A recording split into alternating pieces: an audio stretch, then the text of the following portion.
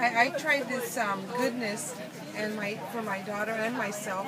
My daughter tried everything under the sun, even the clinical strength, and nothing worked like this. This was fantastic. We It came is back for more this week. And you liked which one? Oh, I like the soothing one because I used to get a rash all the time after I shaved, and this really helps me because it doesn't burn at all, and it heals my skin. It just, it doesn't even leave any residue or anything like the other deodorants Or it doesn't stain your clothes. uh, at So all. try it. Thank you.